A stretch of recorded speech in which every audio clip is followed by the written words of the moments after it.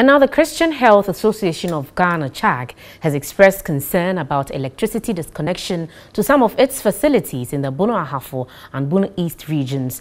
Deputy Executive Director of CHAG, Dr. James Duah, has appealed to the ECG and NEDCO to halt the exercise. The Electricity Corporation of Ghana and the NEDCO have disconnected most of our institutions in, in BA.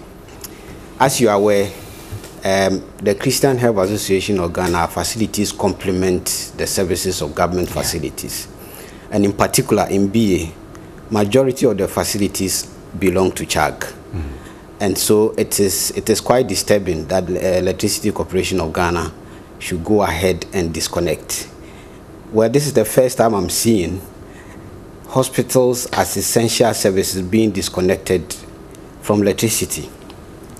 Majority of our services rely on electricity.